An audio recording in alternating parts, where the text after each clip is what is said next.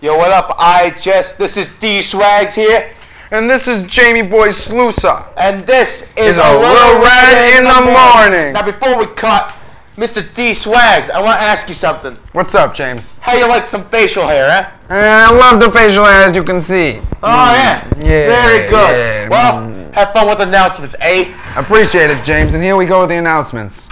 Today is Monday, May 18th, day two. For lunch today, we will be having a chicken parmigiana. Are you taking the June 2015 English Regents exam? Do you need some help reviewing for it? If so, be sure to attend one of the English Regents prep sessions in room G113 from 3:45 to 4:45 p.m. The days will be today, Tuesday, May 19th, and Thursday, May 21st. We'll be sure to see you there. Attention sophomores and juniors. Worried about APs, college, and what the future might hold?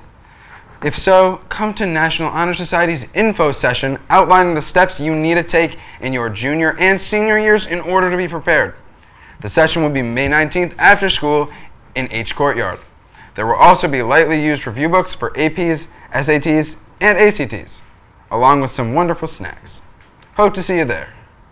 Also, if you have any used review books from APs, SATs, or ACTs that you no longer need, make sure to drop them off in H Courtyard in the box that says National Honor Society. Pay It Forward Club will be meeting after school today in G209. And lastly, Ultimate Frisbee Club will be meeting today in activities immediately after school. Anybody is welcome, no experience is required. Now here's Cam with the weather. Thank you, Danny. Not gonna lie, with a last name like Stan- Stagliano, I think that we'd get a better Italian accent out of you.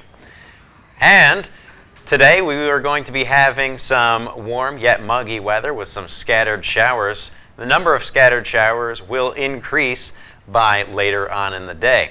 Tomorrow we'll have some early showers held over from today, though the temperature will plummet, and we're going to see the same on Wednesday as the temperature goes down with a high of 62. And now here's James with some really tragic news. Thank you, Mr. Burbank. Legendary guitarist Riley B. King has died at age 89 on Thursday. His daughter Patty King said that he died in Las Vegas. It's a tragic loss for the jazz community. And in some lighter news, Europe's uh, Luxembourg's prime minister has just married his first same-sex couple. The prime minister Xavier Bettel will be the ninth EU legislator to clear the way for gay marriage. Now here's Salko with some sports. Thanks, James. Softball senior night was Wednesday night, and although the Little Red failed to win, they played a very hard fought game and certainly made us proud. The team with two runs had senior Emily Powers. After Laurel, Simon smacked one to the left field. Powers and Simon also combined for another run when Simon hit a triple. Now back to you, Danny. This is a Little Red in the Morning saying, Cam, I am not Tony Soprano, so you can't expect me to sound like Tony Soprano. Oh boy.